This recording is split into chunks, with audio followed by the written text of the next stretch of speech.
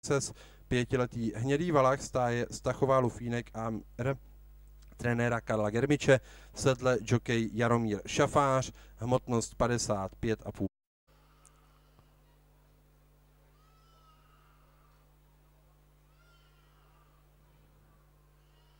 V tomto okamžiku byl pátý dostih dnešního programu cena Inbody Czech Republic Handicap třetí kategorie na 1600 metrů odstartován. Po startu jde do vedení Zoraja Luna, měla dobrý start, stejně jako Trop na bariéře. Na třetí pozici zahajuje dostih Furcout, za nimi čtvrtá Lamour.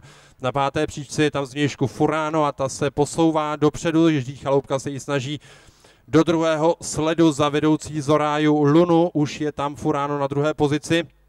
Třetí tedy Furcout, čtvrtý Trop na páté pozici. Teď Količ Classic se tam posunul, za ním na šesté Nelamur, v zadní části pole Detekce Exchange a pole uzavírající Dancing Melody.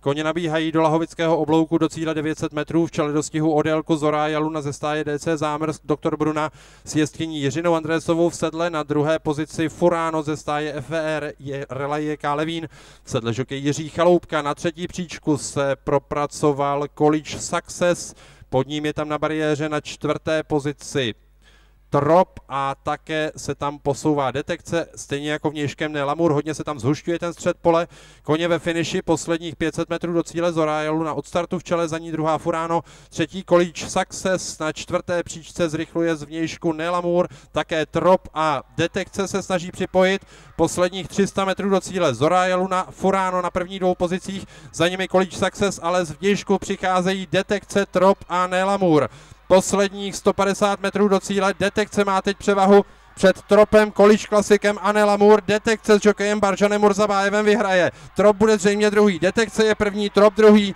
Nelamur třetí, čtvrtá Furano a pátý Količ Success.